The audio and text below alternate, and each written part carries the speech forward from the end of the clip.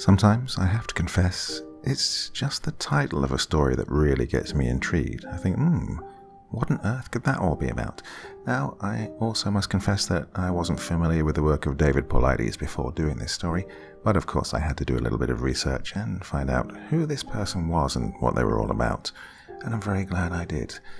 Definitely gives this story an air of uh, Twilight Zone and The X Files to it, and all the better for it as far as I'm concerned. Well, my dear friends, We've made it to the weekend, so you know what time it is? Yes, it's time to once again sit back and relax with your favorite drink and listen.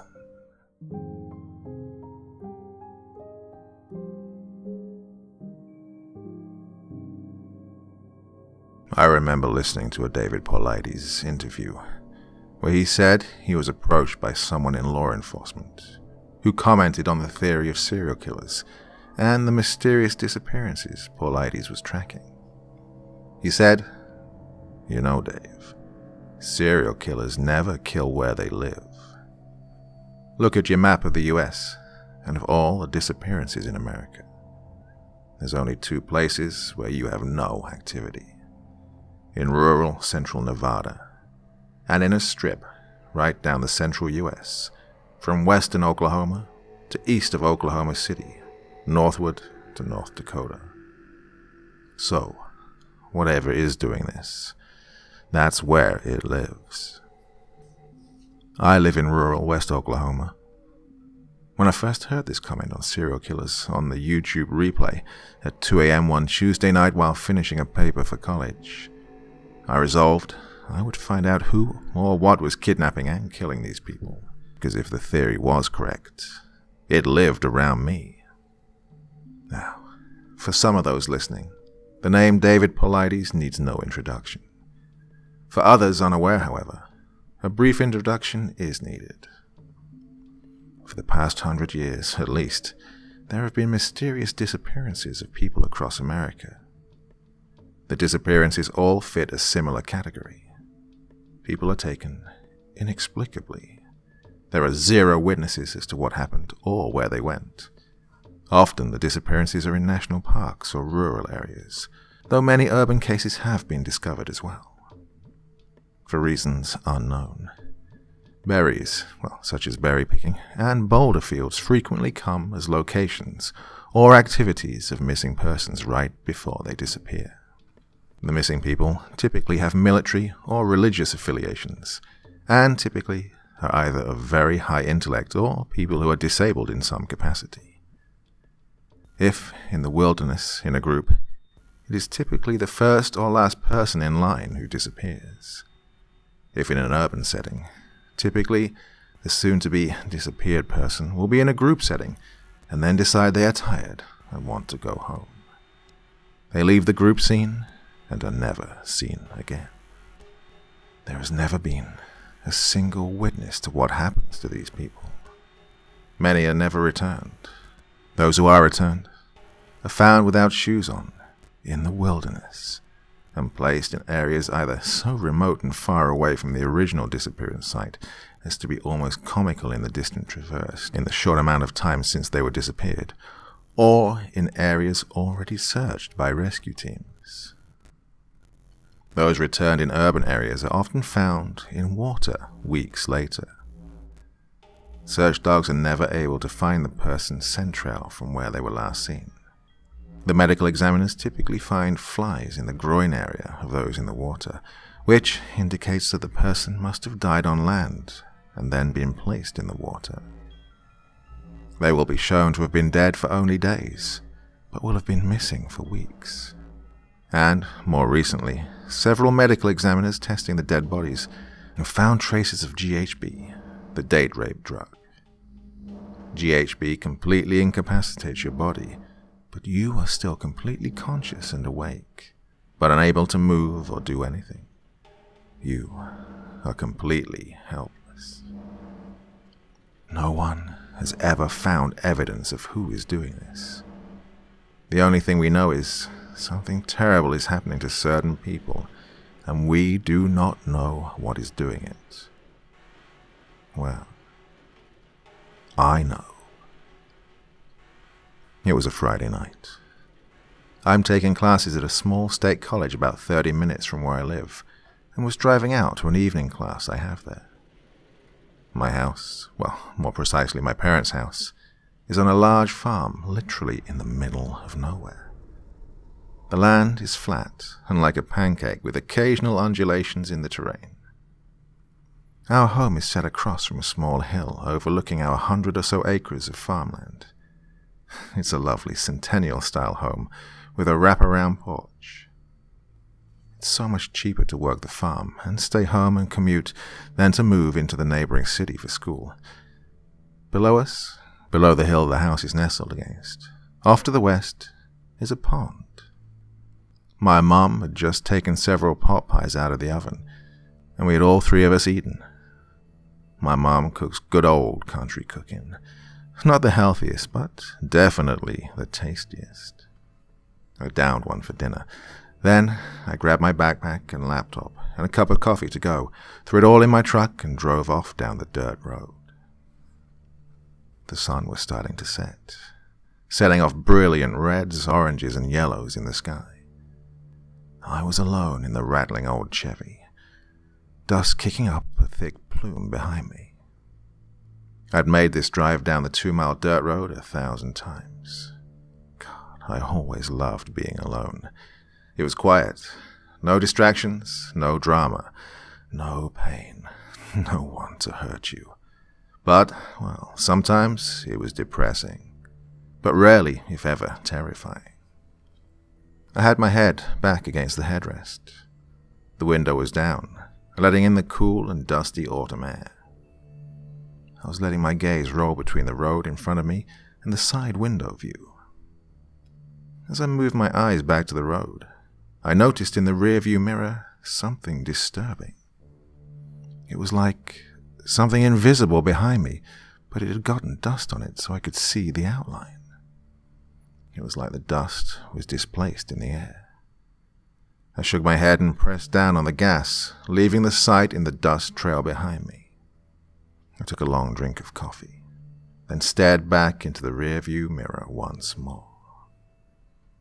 The truck sped off down the dusty back road, eventually hitting the paved county road that ran into the state highway running into the nearest town where the regional college was.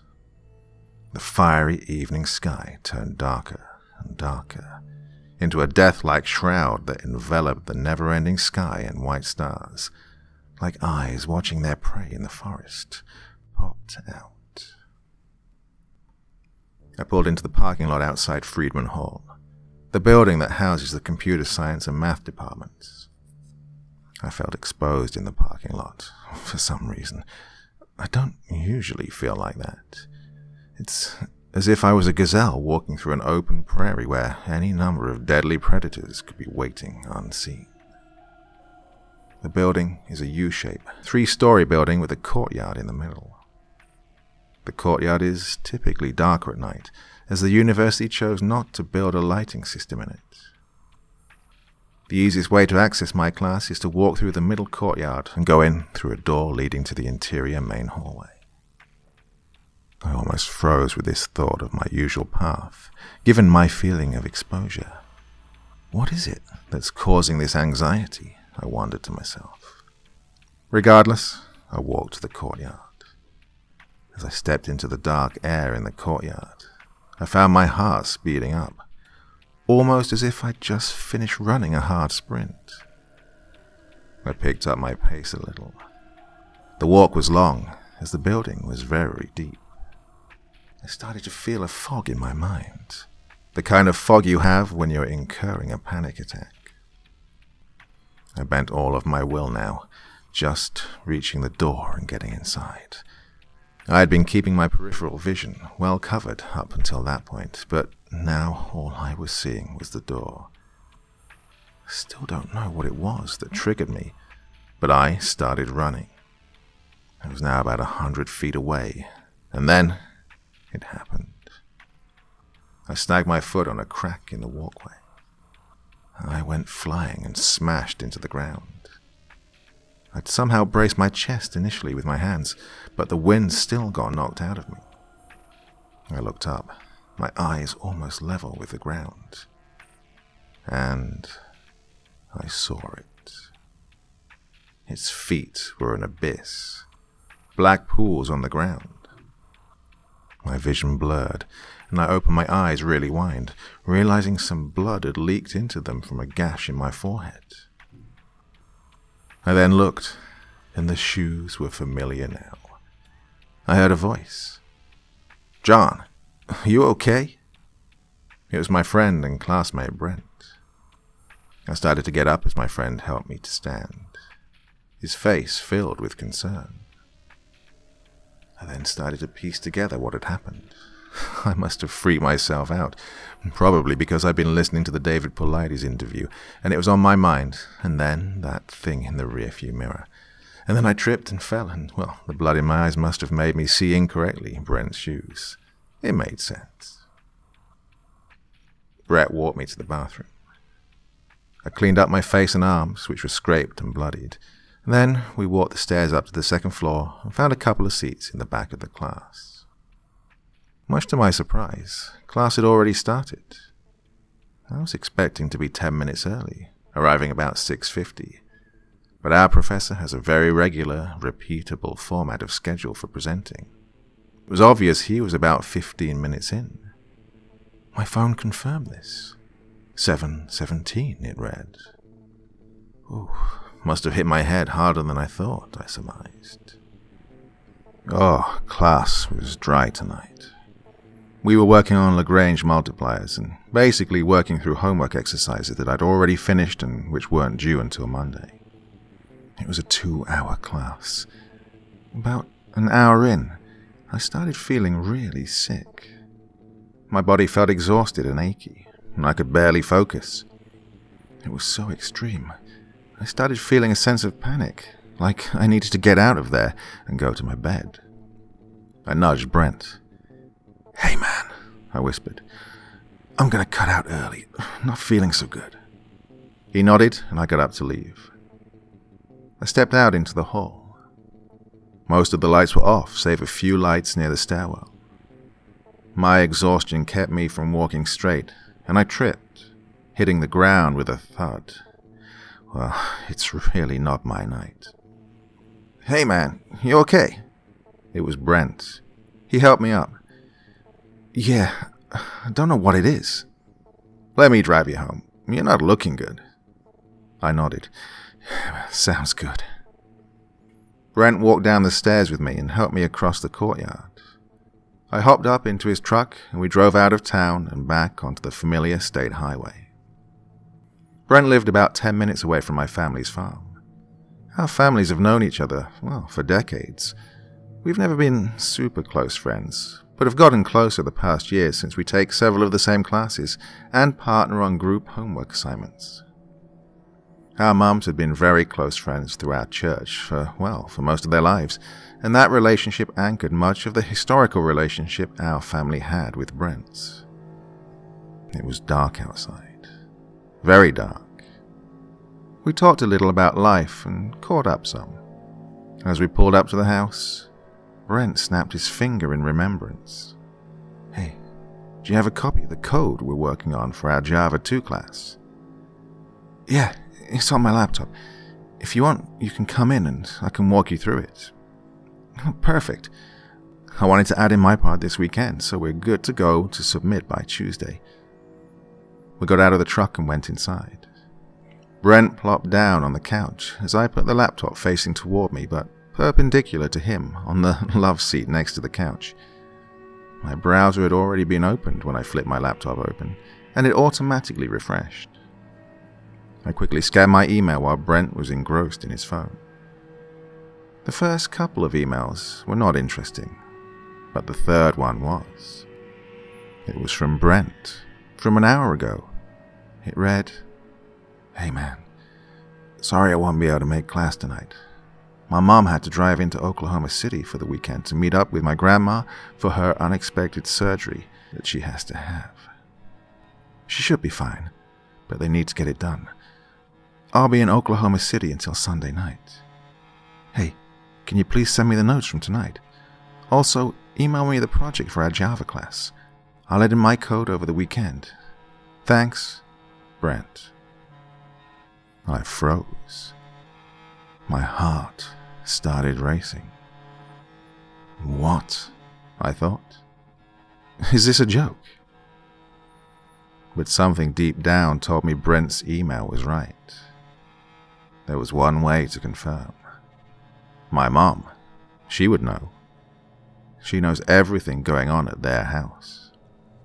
Hey, uh, give me one sec, man. Need to hit the bathroom, I said to Brent. He nodded without looking up from his phone. I shut the laptop and walked up the stairs. I found my mum lying in bed reading a book. Dad was out of town at a men's conference with the church for the night. Hey, what's up? she asked as I poked my head in. Hey, is Brent's family out of town? Oh, yes. His grandma's having surgery. He took his mom, and they're all staying in Oklahoma City for the weekend. I talked with Jamie about an hour ago or so, and she said Brent was driving down there.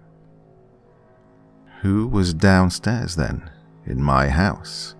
I asked myself, my pulse racing. I was frozen, a deep feeling of dread running through my body. Someone's in the house, Mom. Get in the closet and shut the door. Get the gun, she said, as her eyes got wide and she jumped up and ran to the closet. Oh, God, send your angels, she prayed under her breath. I reached into the gun closet on the bedroom wall, grabbed my AR, a couple of magazines, loaded it, and nestled the weapon up against my shoulder as I stared through the scope. I flipped on the laser light and started walking. The upstairs hallway was bare with all the lights on, just as I'd left it. I started walking down the steps of the stairs. I peeked over the railing, down into the living room.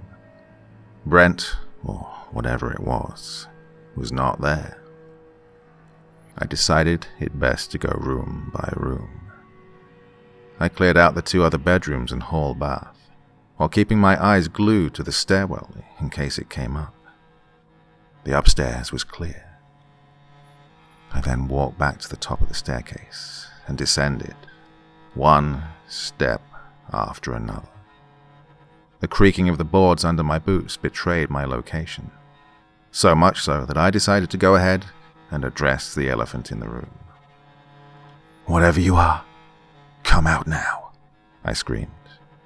I have an AR 15, locked and loaded, and I'm ready to kill. Silence.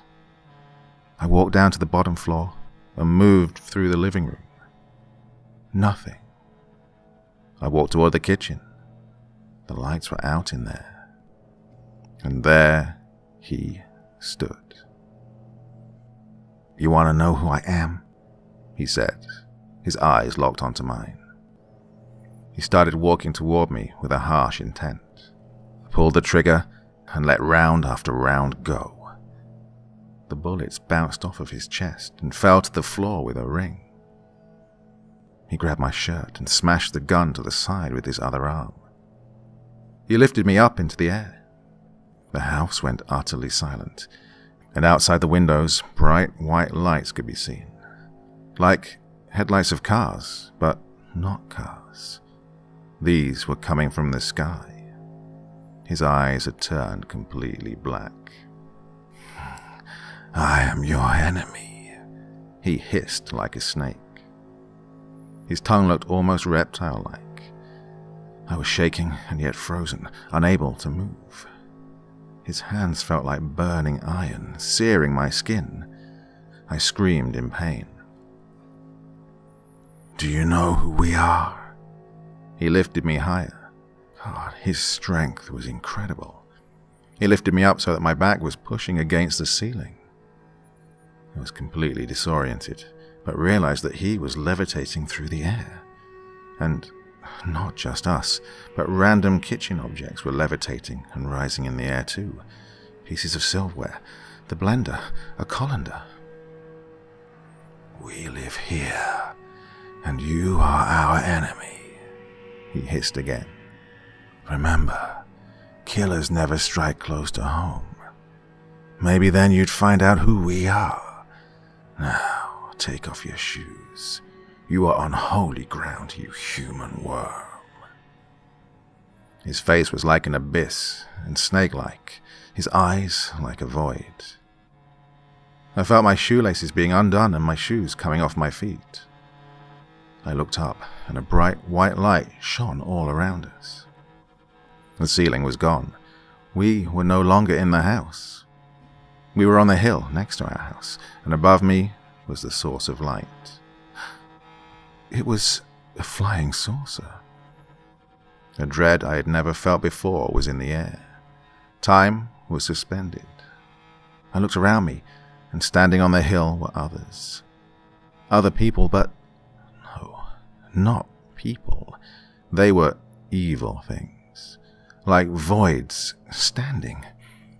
My eyes couldn't process what they were. Their eyes were black, hate spewing toward me. Why me? I asked. Because I broke the one rule we had of secrecy, because I detest you so deeply. Oh, I've watched you your entire life. I couldn't control my hate of you. He then put his searing hands on my neck. You will worship me before this night is over, he hissed, and started to pull me upward toward the craft. My vision turned blood red, and I started to pass out. I was suffocating, but still alive. And then, in the last moment, I saw it. A tiny white light, like a star. The demon didn't see it until it was too late. But it flew up straight toward us and straight into the demon's face. The last thing I remember was a scream of horror coming from the demon, and then the little light flying into my pocket. And then all black. Nothing. I woke in my bed. It was morning. Lovely sunlight streamed in through the curtains. I stretched, feeling as refreshed as you could possibly be. I sat up and suddenly remembered everything. I jumped up. Mom! I ran out my bedroom door and down the steps. The smell of pancakes, bacon, and coffee fluttered into my nose, and I walked ever more slowly down the stairs. I could hear my mum in the kitchen. Morning, she called as she was getting a plate ready. She had no idea. I walked up to the table. Maybe it was all just a dream. Did you go hunting last night? Or were you just cleaning your gun? She asked. What? No, I replied, taking a cup of coffee. Hmm, weird. I found your gun down here on the kitchen counter. She went back to the stove to flip the pancakes. Then I remembered the last thing I saw from last night. I reached into my pocket and found a small piece of folded paper. I took it out and opened it up. Inside a small note was written I'll never leave you. I will always protect you.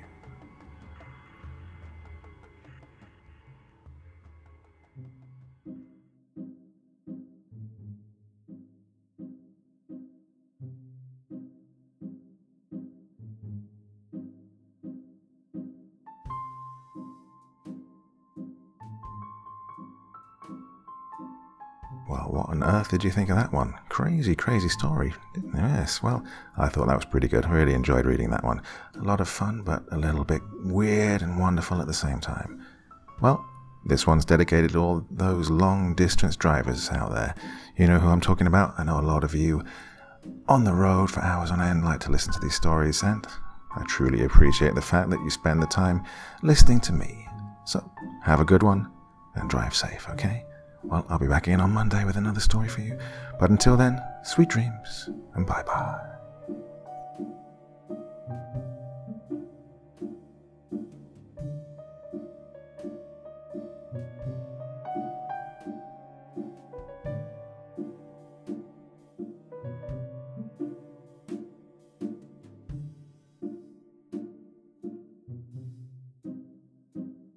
Thank you so much for choosing to spend your time listening to me.